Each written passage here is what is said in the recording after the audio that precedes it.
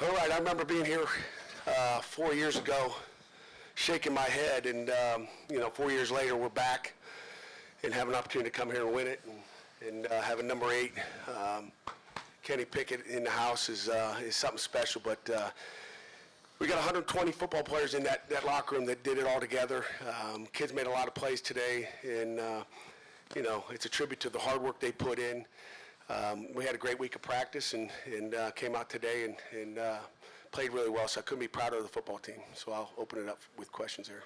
To our left, front row. Hey, Coach, um, I think it was their final 13 possessions, they didn't score. Um, What, can you tell us what you did defensively to stem the tide after they scored three touchdowns to open the game? You know, just little tweaks and and adjustments. Uh, We didn't play any, you know, different defense than we did in the first three drives that were touchdowns, I believe. But uh, that's just kind of how we rolled. If you talk to some of the local guys, that's kind of how we rolled all year is, is make our adjustments, you know, get comfortable in the game and see what they're doing. And as soon as we know what they're doing, then we get a beat on, you know, on exactly what they're doing. And again, our defense line starts up front with our, our defensive line making plays, and our coaches did an outstanding job, you know, on offense and defense. You know, Mark Whipple, you know, offensively with Randy Bates and Andre Powell, special teams coordinator, just did a great job coaching and, and, and adjusting to what they're doing. Kenny, Dan Marino had the fake spike. Some are saying that you had the fake slide. Can you walk us through that touchdown? Was that intentional at all? Um, yeah, it was it was intentional. Um, you know, I just kind of started slowing down and, and pulling up, getting ready to slide, and I just kind of saw their, their body language just just they pulled up as well. So, um, you know, I, I really don't know. I've never done that before, so I just kind of kept going after I was initially starting to slide. Pat, uh, three years ago, I asked you, after the loss to Clemson, uh, about the direction of your program. It's only fair that I ask you about the direction of your program tonight.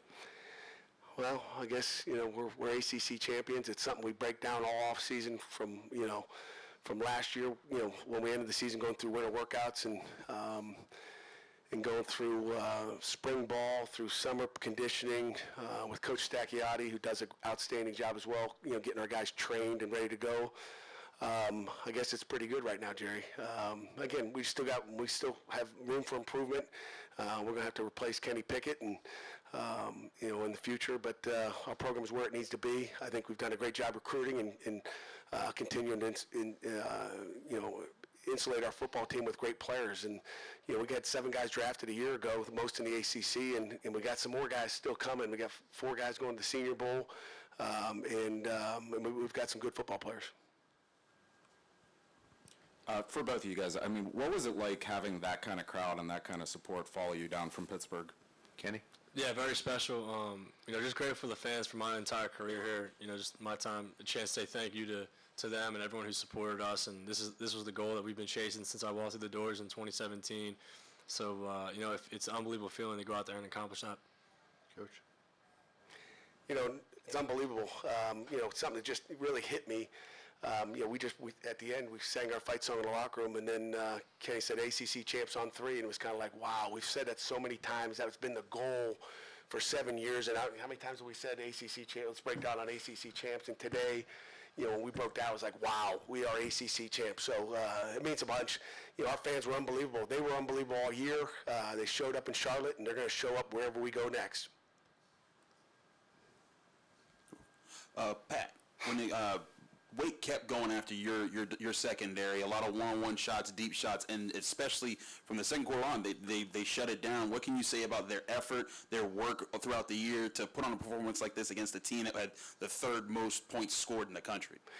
Yeah, I mean, uh, again, start off a little slow, but you know they continue to, to believe in what they were doing, and you know, the, you know, again, once we found out what they were doing, how they were doing it, um, th- they bowed up, and you know, we played some great coverage. Our guys made plays on the ball. I think we shook them up a little bit in the backfield, um, got him a little antsy because he did get hit a few times, and and I think after you know, I think everybody's got to play until they get hit, and um, Hartman's a heck of a football player. He's a great quarterback, and our defense did a good job shutting him down.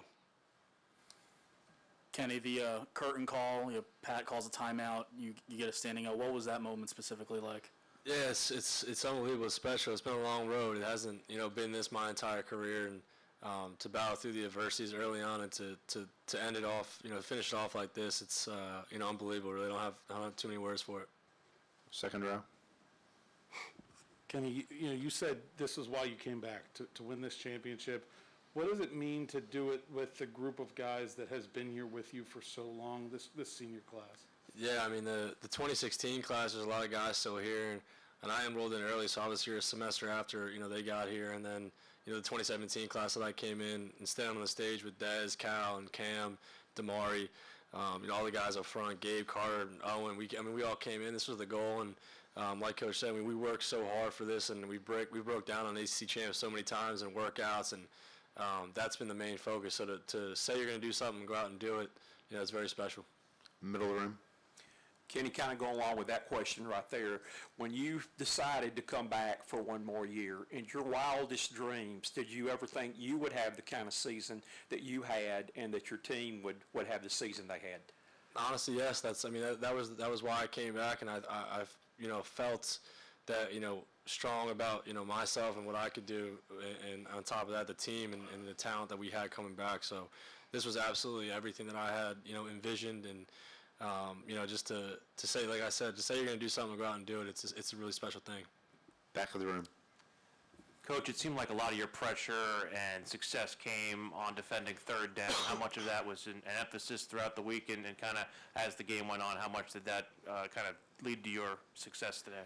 Well, I mean, if you put on the third down reel of tape uh, on, on Wake Forest uh, offensively, uh, Hartman, and, and that, I think there were six in the country in, in third down offense. Uh, I think we were seventh in the country defensively, so it was it was a big challenge coming in. I mean, you watch third and medium and third and long, and it's like Hartman didn't miss, um, and he didn't miss early either. Um, but our kids hung in there. And we, you know. Uh, we made a lot of plays on defense today. I mean, third down, you know, I don't know what the percentages were, but I would imagine we won money down. That was, again, certainly one of our uh, keys to victory to winning this football game. We had to get off the field on third down. And really, for the last three quarters of the game, um, we had to be probably 75% win uh, on, on that down and uh, made some big plays on the ball. We'll stay in the back of the room. Thank you.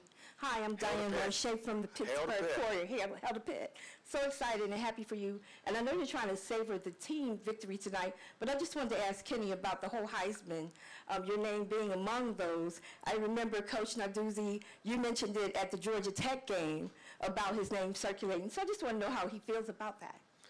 Yeah, it's a it's a special thing. It hasn't been done here in a, in a long time. So it's, you know to have your name, you know, being next to that award and, and talks of you going to New York City and uh, that being close to home, it, it's special. It's a it's a team award. I think uh, you know it, I, I've improved, yes, but you look at this team, we've improved so much. I'm so grateful for every single guy in that room and, and, and the hard work that we all put in together. So I think it speaks for everybody. Back of the room. Hey, Coach, you talked about uh, when you guys broke it down in the locker room, you said ACC champs, and you're just kind of digesting that right now. At the end of this journey, you know, seven years to get here, did you think about that? What does it really mean to you? It means everything. I mean, that's what you work for every day is to get to this point. Um, if we'd you know, won a couple more, and who knows where we'll end up being next week, but uh, our kids, um, you know, believed. Uh, you know, we talk about faith and belief, and, and these guys love each other in that locker room. Um, you know, we, we talk about uh, all the time about doing it together, and and uh, this is the most unselfish football team I've been around. Uh, and I think Kenny would vouch for that. Just nobody cares who gets the credit. You know, nobody's worried about Heisman's. They're just worried about winning the next game. And our, you know, mantra's been all year just be one and zero. And it wasn't about winning this game to be champions today. It was about winning, you know, that one game, getting to number 11. Uh, we want to get to number 12. I think there's been only three other teams in history, in you know, Pittsburgh history, that have won 11 football games. Um, there's been one to win 12 in the, the unfinished business to get back to 1976 when we won 12, and we expect to do that uh, in another month. Coach, you're the first Coastal Division team to win the ACC championship since 2010.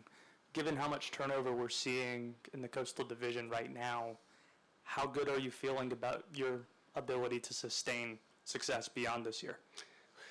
You know, it's, it's always a work in progress. You know, it's not easy. It's not easy to get where we got today. Uh, there's going to be a lot of, you know, hard work in the future. I'm just going to try to relax and try to enjoy the moment right now, and we'll worry about that in another month. Uh, but, uh, you know, we got one more game to go. We're not finished yet. Um, but, uh, you know, I think, I feel pretty good, you know, regardless of the change um, in, in different, you know, in, at- different schools in the coastal.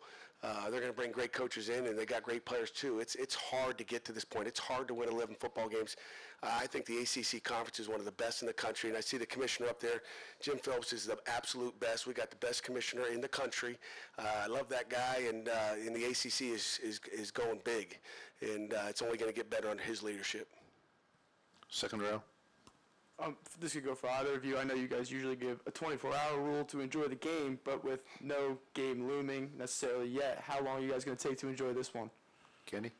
Yeah, I think this one, you know, we'll, we'll uh, get a few more hours for this one. Uh, it- it's a, it's a special special game to, to, to walk off the field a champion and accomplish everything you, you've worked for. So we're going to definitely enjoy it. We got at least a week. I think next Saturday we'll have a little bowl practice.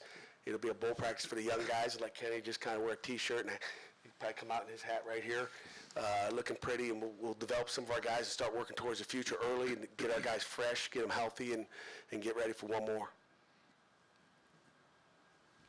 Yeah, Kenny, I guess on that bowl practice and everything, um, is tonight your last game at Pitt, or are you playing in a bowl game? I plan on playing. We take two more questions, front row. Uh, Kenny, all season long, when you were breaking this guy's record or breaking that guy's record, you always told us like, "I'm not worried about that. I'm not worried about accolades. I'm worried about ACC championship." You're here. What's that like for you now? Like, can you? Are you even starting to allow yourself to be like, "Wow, I really just did that. We really just did that." Yeah, I mean, I, I'm going home this, this week, and I'll be able to, you know, be with my family and kind of just take a deep breath and, and look back on. I've been so focused on, you know, what we've been doing, that really haven't gotten a chance to, to sit back and, and take it all in. You know, I told myself after we hoisted the trophy up, I'd be able to do that with my family, and uh, you know, just really enjoy it, and, and uh, that means the world to me to be able to do that. We'll take two more, and I know who you are. Second row. Pat, uh, Erick Hallett plays a difficult position in your defense, gets picked on a good bit. What's it mean to see him respond to have the kind of game he did tonight? You know, we really missed Damar Hamlin a year ago, who's playing with the Bills, and uh, I think Erick Hallett continued to get better every single game. And again, you mentioned it. Uh, he's got one of the toughest positions on the team, playing that free safety position. And you know, losing Damar, I thought he was he was excellent, one of the best to play that position that I've been around for many years. Uh, playing a lot of off-man coverage, and and uh, he just continued to get better. You know, Corey Sanders did a great job coaching him up and tutoring him through the year and uh, playing with a lot of confidence and, and making plays. I'm glad he didn't get a taunting on that, that pick six. He was looking back. I was a little worried about him, like, just score, just get in the end zone. Uh, but I couldn't be more proud of uh, Erick Hallett. Last question. Hey, Coach, just want to ask, uh, follow up, um, on the, uh, the, the fake slide, um, Dave Clawson was asked about it, and he said, you know, it was a great play, an illegal play, but he said it's something that the NCAA, he thinks the NCAA should look at, because defensive backs are, you know, taught to, to, you know, to let up on the, if they see a quarterback start to slide. I was just wondering, what's your thoughts on that? Well, first of all, you know, if it was intentional and, uh, you know, if, if you really did that, you've never seen him do that. I think it was called instincts in a heck of a football play by Kenny Pickett. I mean, he started to slide, he, he, he drug his foot, and then I think he just, I mean, the guys were still, you know, 10 yards away from him. You know, the closest guy might have been four or five yards away. And I just think he thought about it, and, you know, there was a little hesitation. He was going to go down and be smart and be safe, but he was like, hold on a second. He drugged that right foot, I believe it was, and, and then just took off. Uh, he's an athlete, and, you know, you can't teach that. It's, it's, it's called instincts. And uh, to me, it was a heck of a play. And, you know, you can watch all the slides through the years. Guys, quarterbacks are getting whacked on those things. So to me, I'd coach our defensive guys to, to finish the play. And if he goes down, a lot of times we slide over top of him. And, um, you know, it's just, it's, it's being a football player. You got to finish the play. There's a thing called a whistle. And when the whistle blows, you stop. And until then, you got to you got to gather up. And if the quarterback slides too late, you know we've seen guys slide late and, and you know get scraped up and and, uh, and tattooed a little bit, and um, it's, it's part of the game. Again, he never practiced. It wasn't something we said, hey, today we're going to fake slide. Um, it was a football play, and Kenny Pickett is the best, and that's why he's he's a champion.